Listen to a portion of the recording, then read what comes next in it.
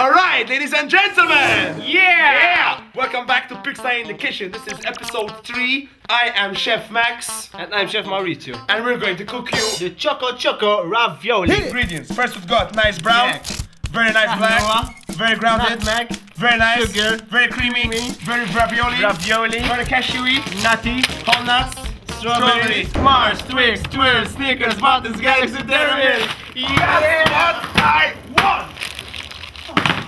Heat the pan to start with the sauce design process. First we're gonna put the cream and let it simmer down like art, like art. For this you need a special tool, you know, most of this, and have a good firm grip on it and just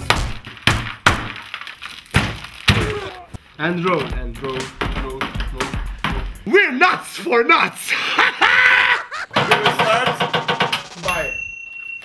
Have to start and melt the chocolate. So it doesn't make a difference how.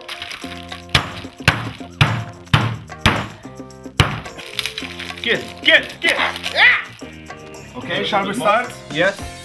Control the chocolate and The melting process begins. The nuts and chocolate. Look, look, look. Tell them how is it coming. Of God. Tell them how is it coming. Always mix. Our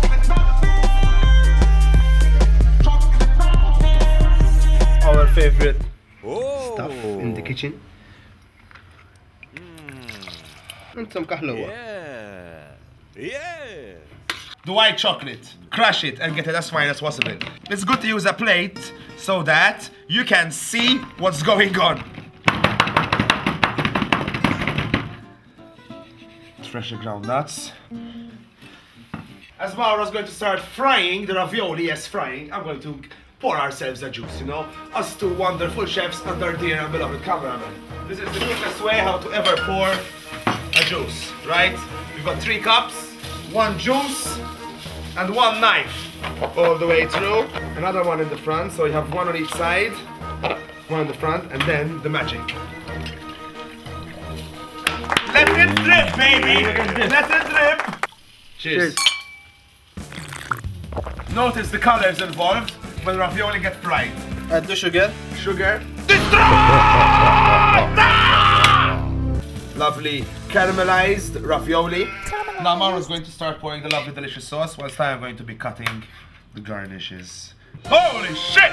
This is the mother biggest strawberry I've ever seen! And you have to position the strawberries.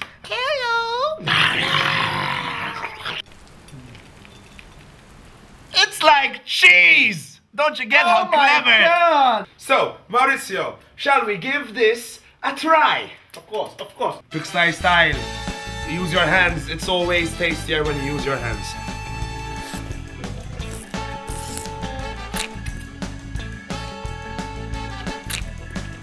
New adaptation. Open the ravioli, put in uh, strawberry, and cover with chocolate. Sprinkle.